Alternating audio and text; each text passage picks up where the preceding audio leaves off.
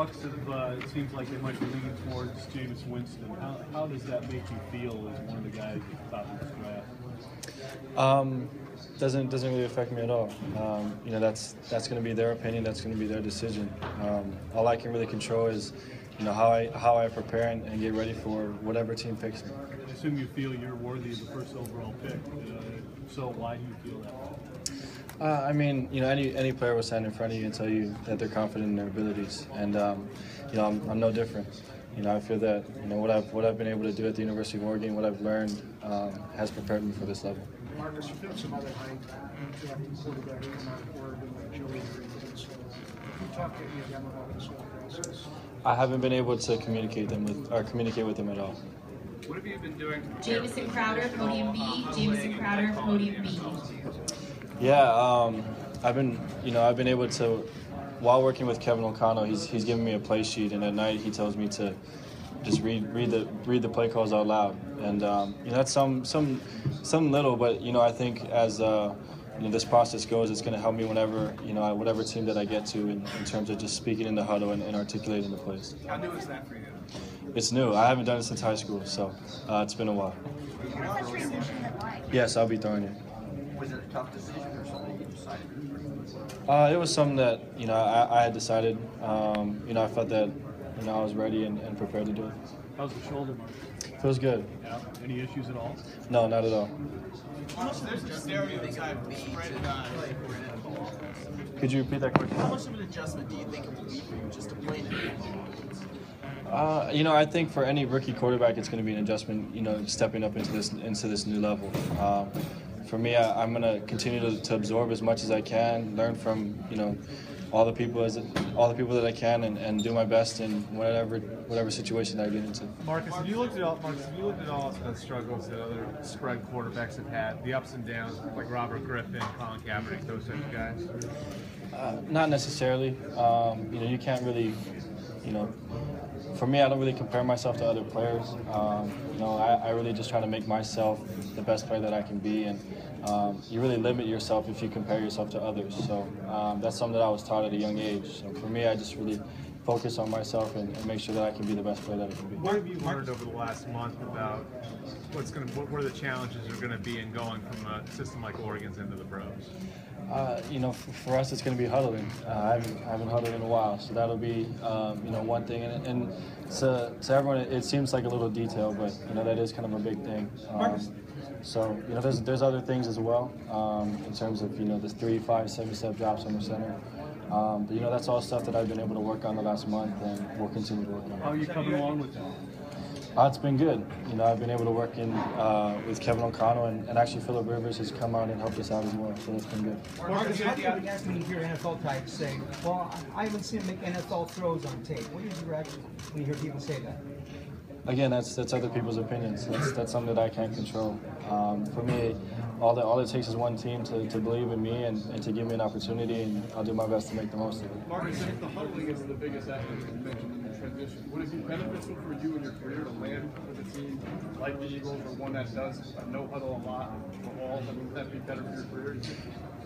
No, not necessarily. Um, you know, that, and that I mean that's not really the biggest transition. It's it's part of the process. Um, you know, there's a lot of different things that you have to go through as a rookie quarterback, and um, for me, that's that's one thing um, amongst a lot, and I'm going to have to do my best to, to be able to handle all of it. Marcus, do you believe you're the number one quarterback in this draft? Um, I'm, as an athlete, as a, as a competitor, I, I mean, any any so any person will tell you that they're the best, and I, I truly believe that in myself. Um, and you know, I, we'll, we'll see whatever decision is made, but um, you know, I got to go in with that mentality. Marcus, what was your initial meeting with Lovie Smith and, and Jason like, like yesterday when you had a chance to see, see him last night? I wasn't able to sit down with them. You were not able to? Marcus, you can show speed and arm strength and things like that in a combine setting, but you can't show an ability to make reads. So how do you articulate that to the teams, or how do you show that you can do that? It just starts with the interviews. Um, you know, it's not just blurting out all the all the Michigan wide football information Devin that you know. It's it's kind of processing and show how you receiver think Devin and how you progress in, in your reads and um, just showing what, what you were asked to do at, at you know whatever school you're at, and, and hopefully they'll uh, believe in what you're saying and, and uh, give you an opportunity. What kind of advice has uh, Philip Rivers given to you during this session?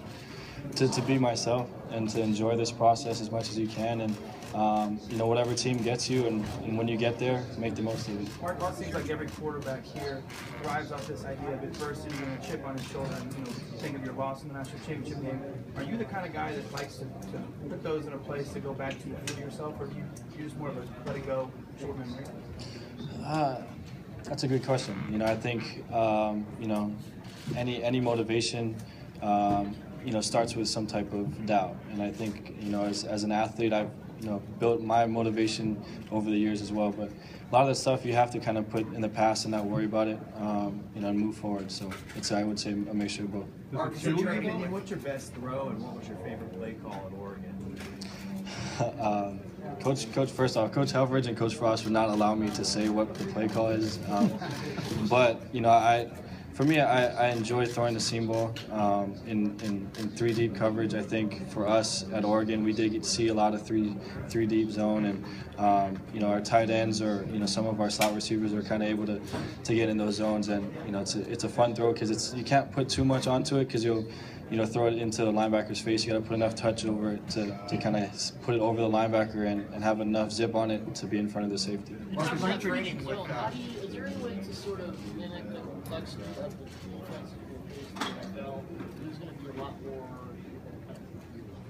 Could you just repeat the question, please? Is there any way to sort of mimic the complexity of the defense in the face of the NFL where aren't those openings and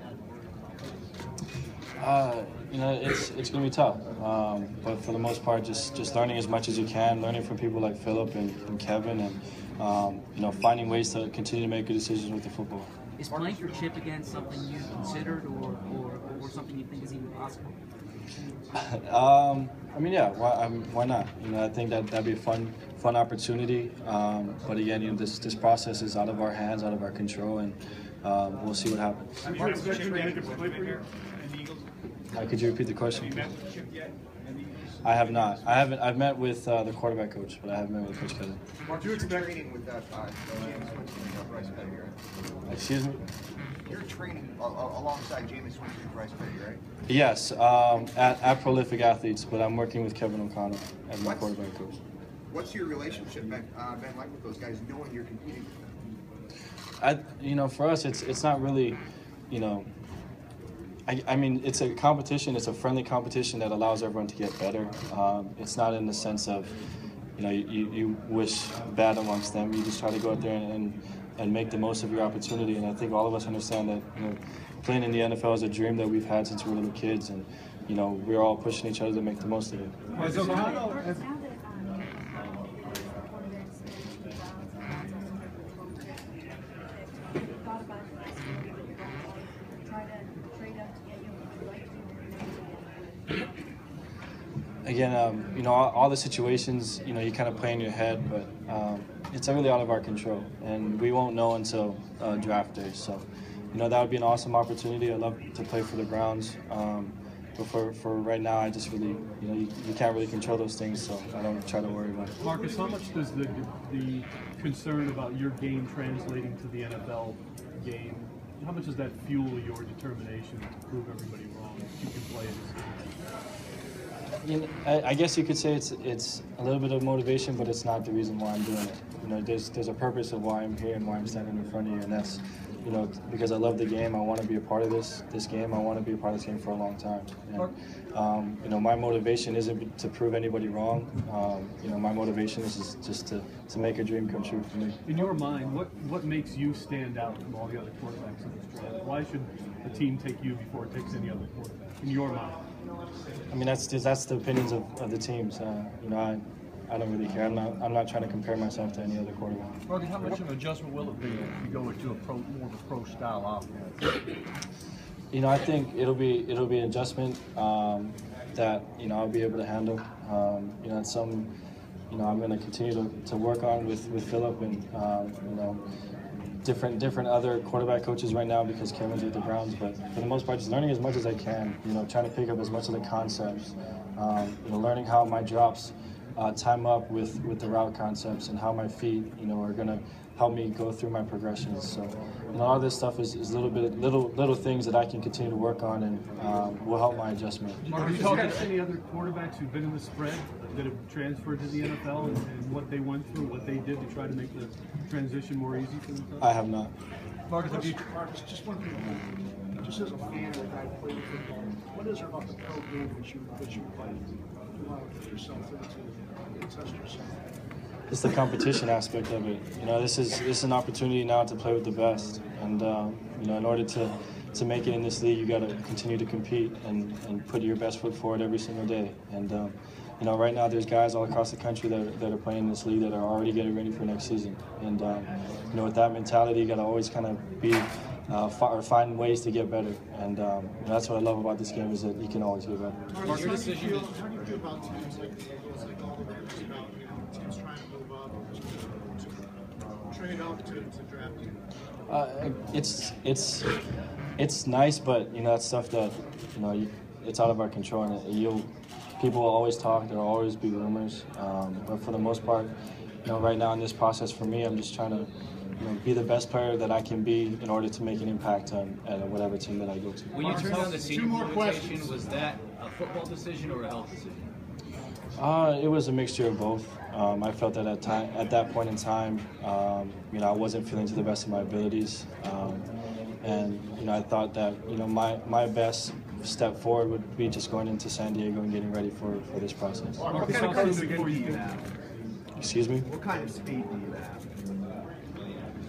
I don't know. expect I to don't- um, I guess I mean I'll do my best to run you know under a four five, but we'll see. Marcus, how soon do you think you'll be ready to play in a pro-style offense? Could you be ready on opening day next year, or be, you know, eight weeks into the season, or be a year, two years? You know, my goal is, is to, to make an impact from day one. I think, you know, I'm going to continue to, to have that mentality, um, you know, find ways to improve myself in order to, to be ready for, for day one.